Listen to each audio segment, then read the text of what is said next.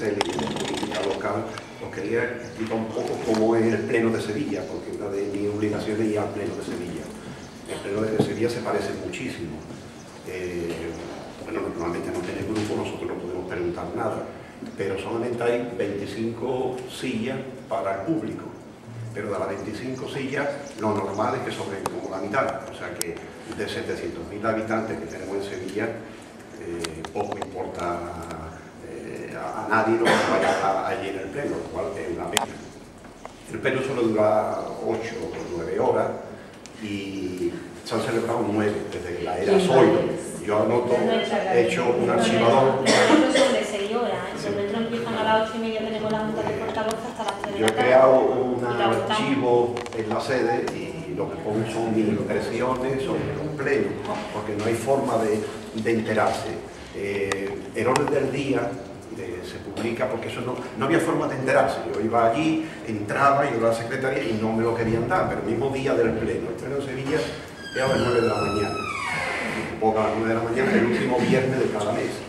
Pero a las 8 y media, que ya están trabajando los grupos, los funcionarios, no dan eh, el orden del día. Y ya me pude enterar, uno del PP, que me dijo, es que eso se publica la noche antes en internet. Entonces ya sé por lo menos cuál es el orden del día. Entonces yo eh, voy tomando notas, que es lo que después archivo, digo, mis impresiones sobre el pleno número tal, el próximo viernes último de mes será el, el pleno, porque ha habido más que uno eh, extraordinario, son 10 ordinarios y uno extraordinario. Entonces, eh, después coger el acta es tremendo. Yo lo que hago es tomo mis propias notas, me recorto de la prensa lo que puedo de distintos sentidos, como ABC, Correo, eh, Diario de Andalucía, saco mi resumen y leo el acta oficial que sale aproximadamente varios días antes de que salga el siguiente. Y son como 60 folios, por lo cual es un trabajo de que yo sea este. Y yo lo que le doy es título de mis impresiones sobre el pleno. Y que no tienes que estudiar y leer el acta porque luego la Hombre, claro, tiene que coincidir, claro, tiene, el acta debe de coincidir. Tienes la obligación de leerla para... Sí, pero es que lo... Eh, Después en el acta hay una cantidad de cosas que son de mero trámite, o sea que se le deniega la licencia a un señor, yo la primera vez que aparecí por allí y empezaban a decir, asunto no se puede entraba de nada. Yo dije, bueno, si yo no tengo ningún documento, claro, los concejales cogía ahí y o lo haría en nuestra ciudad lo mismo, y sabían de qué iba y votaban que sí, que no se pelean. Normalmente aquí se pelea siempre espada con, con el que corresponda del PP y, Antonio Torrino, son los tres que están ahí siempre en triángulo diciéndose cosas uno a otro. Pero bueno, yo voy tomando mis notas y doy mi opinión. Y por eso están allí en las sedes, si algún día quiere leerlo, supongo que nadie tendrá el conveniente de enseñarse, porque la coordinadora que se lo podrá enseñar. Parece que no lo vamos a ir colgando en la web, pero con un año de retraso.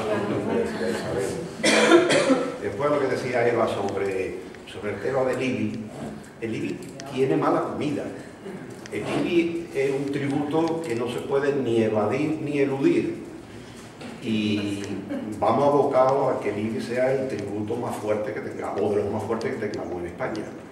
Nosotros tenemos un IBI que es el 25% de la media de lo que tenemos en Europa a inmueble equivalente. Y la décima parte de lo que se paga en Estados Unidos con un inmueble equivalente. Porque tú no puedes eludir ni defraudar en el IVA. En cualquier otro tributo uno puede hacer lo que quiera. En el IVA te pones la, en el IVA te pones las cuerdas, una factura menor, cobra dinero negro, tal. En el impuesto sobre la renta te pones de acuerdo con tu patrón, el salario lo más poquito, el resto te lo da dinero negro y tal, pero el IBI, el que tiene una mansión, tiene una mansión y tiene que pasar por taquilla. Por eso la tendencia del IBI no sé cómo terminará, pero desde luego si nos ponemos a nivel europeo... No queremos eludirlo, ni muchísimo no, menos. Es que, era simplemente que la subida ha sido, bueno, yo creo que la mayor... No, no, no, si, la, si, la, idea es buena, es contener el tributo, por ejemplo... No, tampoco nos negábamos incluso a que lo subieran, pero que suba de golpe a familias que le ha subido el 100%, o sea, de pagar el año pasado 400, este año 800. No, no, es que en esos países el resto de los tributos es más bajo. Es muy agresiva la subida. No, no, no hablamos de modificación de presión fiscal ni de esfuerzo fiscal. Hablamos de un nuevo sistema fiscal. Es decir, tú no pagas menos en renta, pero paga más en IBI. Porque hay personas que tienen seis pisos porque se lo han comprado por ahí, que lo tienen arrendado a estudiantes, que no tributan nada por ello lo que están es defraudando. Esto no están eludiendo. Una cosa es la, la ilusión, otra cosa es... Pero vamos a hablar del impuesto. Vamos a hablar de la, de la experiencia de los concejales. Exactamente, ya, ya, por eso digo que lo que le va a pasar a ella a la larga, a la larga, pues va a terminar como tiene que terminar. Y a ella pues no son concejales, son heroínas, pues vamos, hemos escuchado aquí, son una heroína, nada más que eso quiere decir. Gracias. Bueno, yo veo una queja que hay en, en los tres casos que es que os falta un abogado. Y un arquitecto. Y Un arquitecto, sí. Pero un abogado, entonces, yo no sé hasta qué punto, Y un sociólogo, y apuesta. no sé hasta qué punto sería posible el, a lo mejor un abogado no se lo puede permitir el partido, ya pregunto a, a un poco de pero bueno, por lo menos darles una serie de bases de, bueno, estas son las leyes básicas que tenéis que, que saber o tal, porque no sé si, o, o sea, Pero ¿sabes qué pasa? ¿Cuál es tu nombre? yo, Guillermo, Guillermo, ¿sabes qué pasa? Que el abanico que deberíamos de conocer es tan amplio porque además surgen tantas cosas tan distintas y tan diferentes que tendríamos que estudiar entonces todas derecho. sí, pero bueno, yo Y tendríamos que estudiar también empresariales y tendríamos que estudiar también económica. Yo pienso que más que tú conocer, yo por lo menos así lo veo, yo necesito tener la herramienta para que alguien me dé esa información y entonces yo la, yo la asumo, ¿no? O sea, yo cuando, yo no pretendo ser, mm, saberlo todo, porque no puedo, porque no soy superwoman, me, encantaría, ¿eh? pero no. Entonces, yo prefiero delegar en personas que realmente conocen ese tema y que esas personas sean las que me informen a mí en ese momento en el que yo tengo que a un pleno con una, con una documentación, porque como bien dice Isabel, las propuestas que hace UPyD, aparte de que son muy serias, están muy bien trabajadas. A ti te dejan leer mociones, Sí, a sí, sí. nosotros nos dejan leer el título de la leemos. solamente. O sea, Nosotros- nosotros leemos el título de la moción y dicen denegada.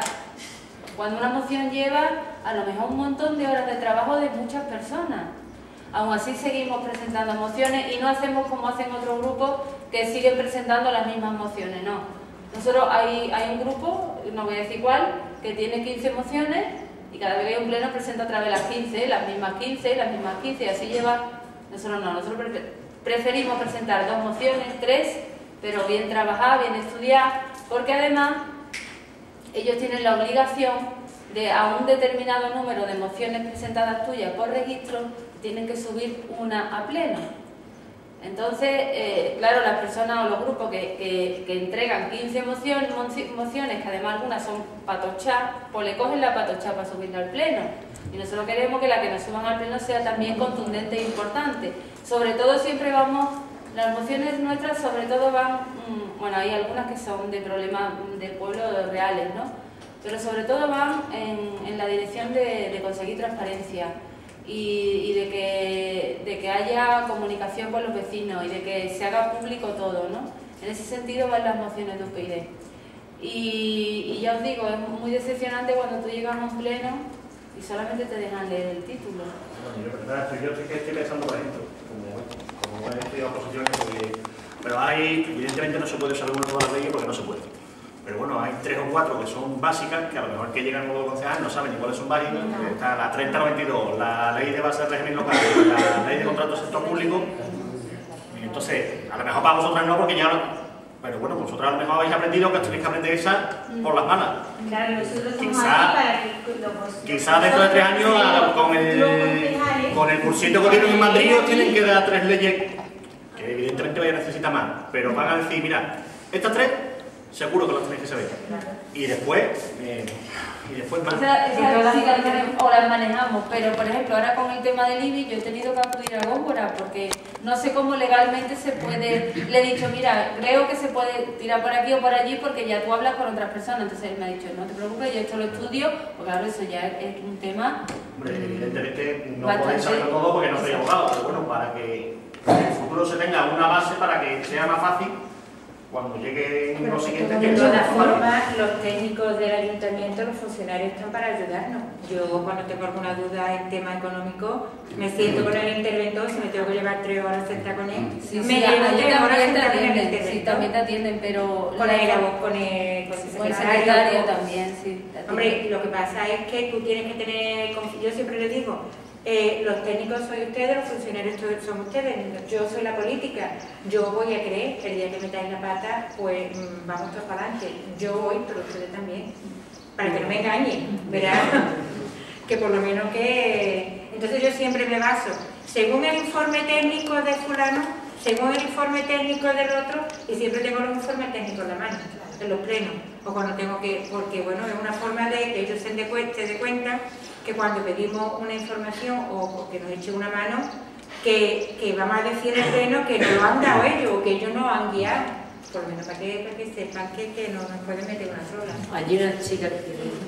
Mira, tengo entendido que la Junta de la Dirección General de Gobierno Local hay una escuela en Antequera, creo que eh, da curso de formación a los concejales. Por lo menos cada cierto tiempo lo organizan.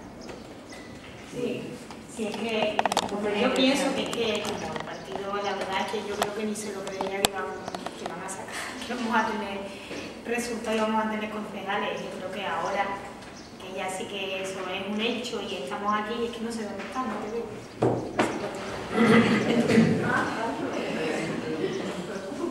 Que digo que yo pienso que ahora que la dinámica es pues, formarnos realmente y formar a los que vengan.